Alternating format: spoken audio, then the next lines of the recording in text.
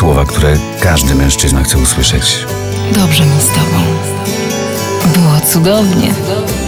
Tęsknię. Piwo w lodówce. Mm, kocham. Pragnę cię. Niepłodność w równym stopniu dotyczy kobiet, jak i mężczyzn. Można ją leczyć i usłyszeć wszystkie ważne słowa.